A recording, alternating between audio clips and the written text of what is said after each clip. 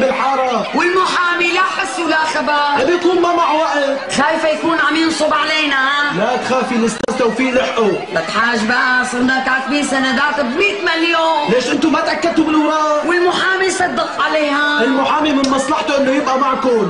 مو معقول يعني مو أنتم واعدينه ب 100 مليون؟ لكن بلا واعدينه. ومعقولة يهرب بمليون ويترك ال 100 مليون لك خايفة يخسر على القضية. مو لك الأستاذ توفيق هي شغلة روتينية. لكن بلا